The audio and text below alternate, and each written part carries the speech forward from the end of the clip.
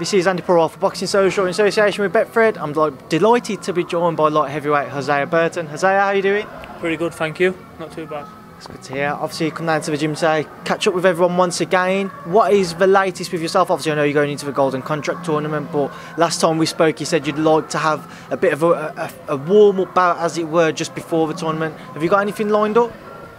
No, no fights before the competition. Um, supposedly, once you sign the contract to fight in the competition, you're not allowed to fight um, anywhere else.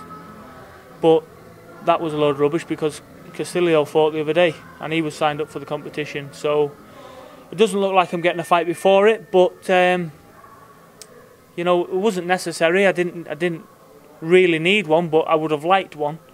It just keeps the wolf from the door, doesn't it? But um, yeah, just training hard for the competition, ready to win it how does it feel to be back in camp, knowing that you have something effectively a big opportunity to to look forward to since Buglioni, like we've said on numerous occasions, just haven't had the rub of the green and the opportunities haven't dropped for you. How does it feel to be back in camp knowing you've got a big opportunity just around the corner? Well, the thing is, since my loss, I've been back in camp many a times thinking I'm going to get a last minute call up. So I've been training really hard for a long time. And then all of a sudden you get sick of training and you think there's no light at the end of the tunnel. But to really know this is it, you're gonna you're gonna be getting the big fight soon. It just puts a bit between your teeth that little bit more and you really it really gives you something to, to work at. Obviously, as we've mentioned, you are going into that golden contract tournament. How much of the guys who have been announced have you looked up on, and how much have you analysed them as of yet?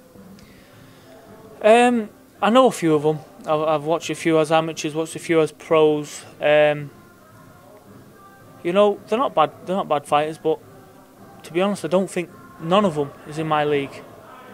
Um, I think this competition has been made for me. Um, I, I really think I can beat all of them with ease.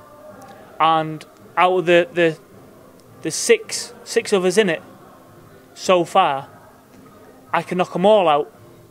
Um, knocking Bob out would be quite hard because he's an awkward customer, but I can beat Bob very, very big on points. So, um, yeah, so out of the five of them, I can knock four of them out pretty sharp. I mean, we saw in the in the last tournament that's just gone by with uh, Leigh Wood picking Davy Oliver Joyce, who was seen as one of the favourites for the tournament how do you expect to go about yourself if you was to be given one of the balls which allows you to pick an opponent? Do you think you'd take one of the other guys who are seen as one of the leading contenders, or do you think you'd take an easier route, or how do you see yourself playing out when that time comes? Listen, there's a lot of big ifs. If you get a blue ball, if the person that you want gets a red ball, you know, you could be training for somebody and have somebody in mind, and they could have a blue ball with you. I might even get a red ball. Who knows? So I think don't really train for anyone in particular. Spar everybody, and whoever comes, comes. It, it doesn't make a difference who you fight. You're going to fight them all one day. You know, if they win and you win, you're going to fight in the final.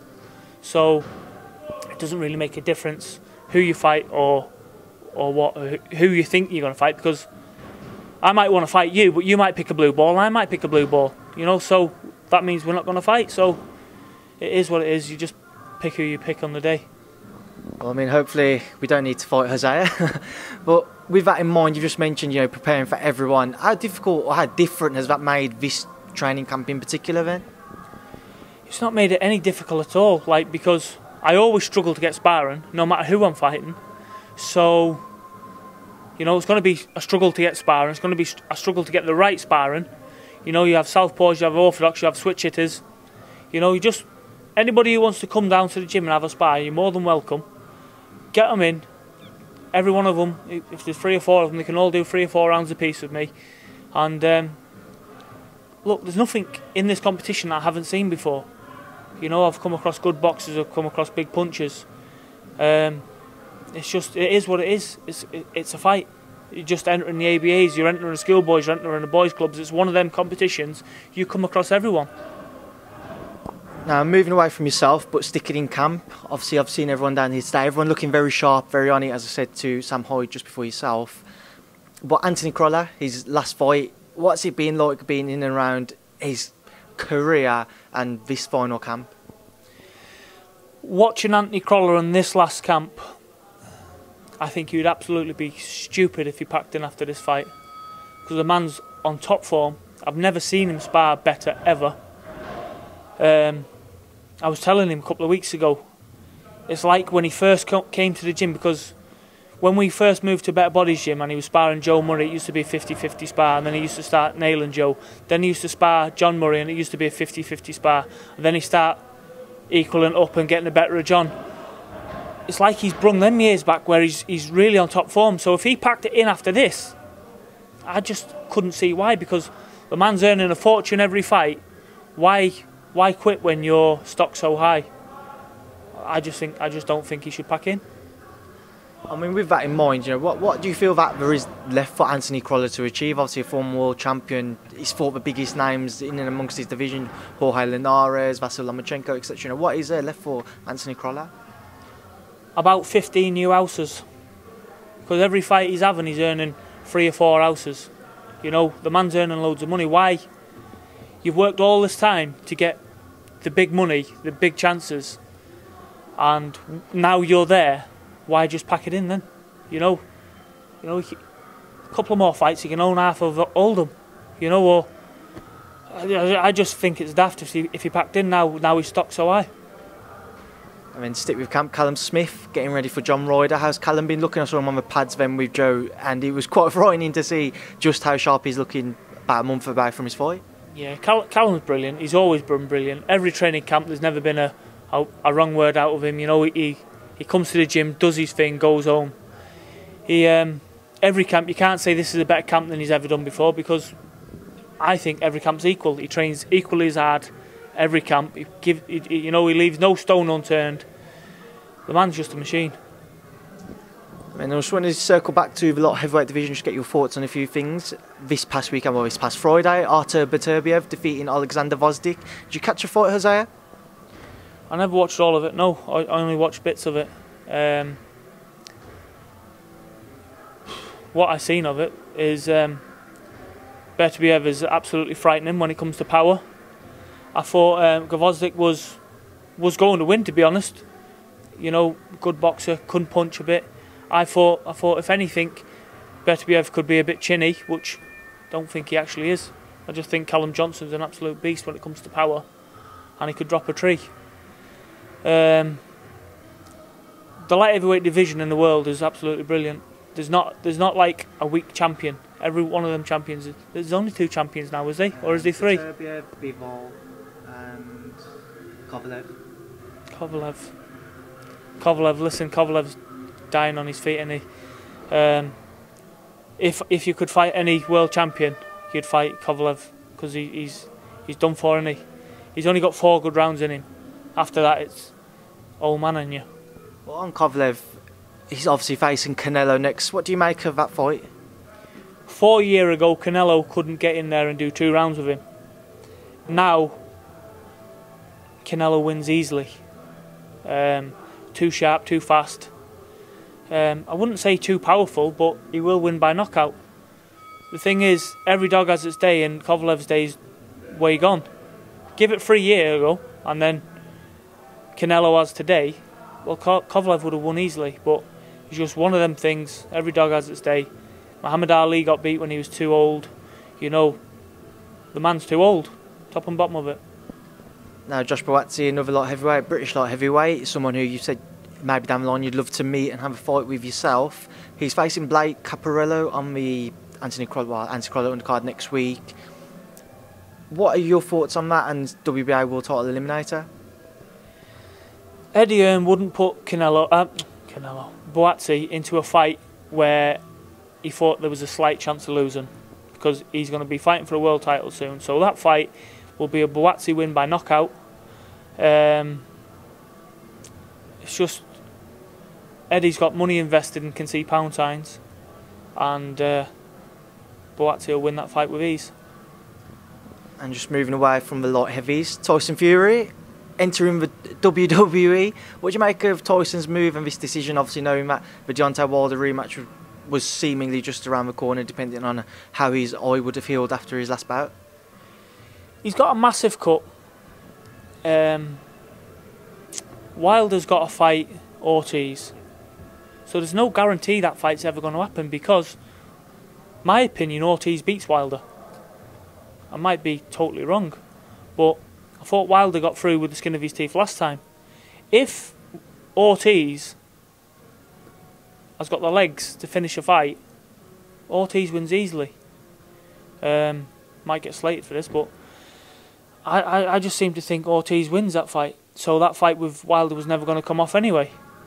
Um, now Tyson's eyes healing up. He's getting paid fortunes. He's he's already conquered boxing. He's gonna conquer this uh, WWE. He's he's just a man, isn't he? He's, he's you could say he's the pantomime villain. He's the pantomime hero. He's the real life hero. You know, he's he's just an unbelievable man, isn't he? When it comes to achievements, from being around the corner from suicide to being on top of the world again. So, what there's nothing Tyson can't achieve, and with him having this bit of time off, enjoying himself to become a WWE wrestler, which we've all dreamed of doing. At one stage of our life, we all wanted to be Bret the Hitman Hart. We always wanted to be Undertaker, Hulk Hogan, Sting, all of them. We wanted to be one of them. Now he's going to be one of them. So the man's smashing life. Rolling back the memories there, Hosea, and naming some of those wrestlers. the men who we used to watch when we was little, though, because me and Tyson used to play with wrestling men. We used to play with the Cowboys and the Indians and toy cars and whatever. You know what? Wouldn't surprise me if he come a NASCAR driver for a little while because you know we always wanted to do that as well. So, Tyson, if you if you're gonna um, do any of that NASCAR racing, get me to come with you as well, mate. I mean, what was Tyson like growing up with? What what was he like? I've spoken to John, his dad, about it, and John said that he was very quiet and he was the complete opposite to what we see now. Was that the same Tyson that you can remember? Tyson off camera is the same man as he always always was. Was he always a comedian? Great fun to be around at all times. Um, we used to play hide and seek, tig, you know, just yeah. child games. What we, but the fu- funny thing was, at about nine, he looked about 16.